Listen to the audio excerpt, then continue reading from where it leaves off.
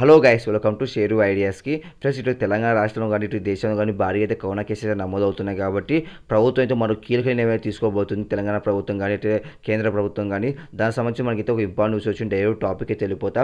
Friends ఎవరైతే lockdown కావాలనుకుంటారో ప్రతి ఒక్క లైక్స్ షేర్ చేయండి. ప్రతి ఒక్క సబ్ చేసుకొని పక్కన బెల్ ఆన్ చేసుకోండి. ఫ్రెండ్స్ ఇంకా డైరెక్ట్ టాపిక్ అయితే వెళ్ళిపోతా. ఇక చూసుకోవచ్చు మనకైతే పెరిగిన కోవిడ్ కేసు దేశంలో కోవిడ్ ఉధృతి కొనసాగుతుంది. గడిచిన ఇరవై గంటలు రెండు లక్షల అరవై నాలుగు వేల రెండు వందల రెండు కరోనా కేసులు నమోదయ్యాయి. ఇవి నిన్నటితో పోలిస్తే ఆరు పాయింట్ ఏడు శాతం ఎక్కువ. నిన్న మూడు వందల పదహైదు మంది మహమ్మారి బలయ్యారు. తాజాగా లక్ష తొంభై వేల మూడు వందల నలభై ఐదు మంది కోవిడ్ నుంచి కోలుకున్నారు.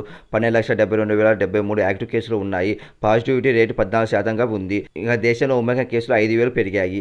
చూడొచ్చు ఫేస్ మనకైతే కరోనా కేసుతో పాటు ఉమెగా కేసు కూడా భారీగా అయితే వస్తున్నాయి కాబట్టి కేంద్ర ప్రభుత్వం అయితే నిన్నటితో సీఎంతో అందరితో మీటింగ్ అయితే జరిపింది. స్కూల్స్కి అయితే క్లోజ్ చేసి లాక్డౌన్ విధించాలా లేదా కర్ఫ్యూ విధించాలా ఏ విధంగా కట్టడి చేయాలి కరోనా కేసులు? ఎందుకంటే రెండు లక్షల పైన కరోనా కేసులతో బయటపడుతున్నాయి కాబట్టి చాలామంది చనిపోతున్నారు. అందులో పాజిటివ్ రేట్ కూడా పద్నాలుగు శాతం అయితే ఉంది కాబట్టి మనకైతే ఈ మోదాలు కరోనా కేసు నమోదవుతున్నాయి. చాలా మంది చనిపోతున్నారు కాబట్టి ప్రభుత్వం కూడా సీరియస్ అయితే తీసుకుంటుంది. ఖచ్చితంగా లాక్డౌన్ విధించాలి లేదా కర్ఫ్యూ విధించాలని సీఎంతో అయితే సమావేశం అయితే నిర్వహించింది. అలానే తెలంగాణ ప్రభుత్వం కూడా చూసుకుంటే మనకైతే కరోనా కేసు అయితే భారీ అయితే వస్తున్నాయి కాబట్టి స్కూల్స్ అయితే ఇప్పుడే క్లోజ్ అయితే చేసింది.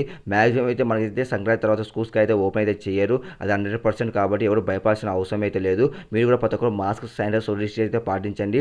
అందరూ ఇంకో విషయం అంటే తెలంగాణ ప్రభుత్వం కూడా లాక్డౌన్ విధించే అవకాశం అయితే ఉంది. ఎందుకంటే నేను కేటీఆర్ కూడా స్పందించా దీనిపైన. ఖచ్చితంగా లాక్డౌన్ అయితే విధిస్తాము వైద్య నిపుణులతో చర్చిస్తాము ఆ తర్వాత నిర్ణయం తీసుకుంటామని చెప్పారు కాబట్టి ఎందుకంటే కరోనా కేసులు కూడా రోజు నాలుగు వేల కరోనా కేసులు అయితే వస్తున్నాయి కాబట్టి తెలంగాణ కూడా ఇటు దేశం కూడా భారీగా అయితే వస్తున్నాయి కాబట్టి ఈ పరిస్థితిలో మనకైతే లాక్డౌన్ తప్పక ఏ ఆల్టర్నేటివ్ లేదు కాబట్టి మ్యాక్సిమం అయితే లాక్డౌన్ విధిస్తారు.